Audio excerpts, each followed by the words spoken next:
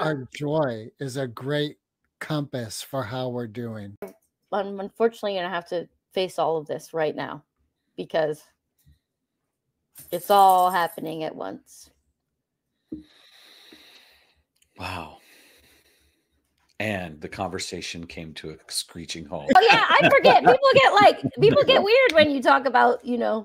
Well, it's not that we got a weird. It was just there was a moment there where it was the natural thing to do is just be in the recognition of that for a Mhm. moment and let it land. And I then, yeah, I had to. Otherwise, yeah. I wasn't. And in gonna. some ways, we all got invited into that during the this thing. We all got invited into creating a new way of being. yeah. No matter what, your life probably changed around March to August of 2020. Yeah, I don't make fun of people wearing a mask now. Well, yeah, no.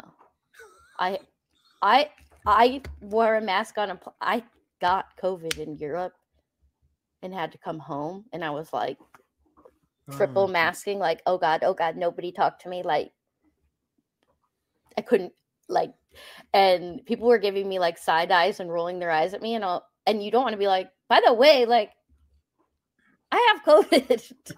and you're just like Come here, I want to tell you a secret. make fun of me all you want.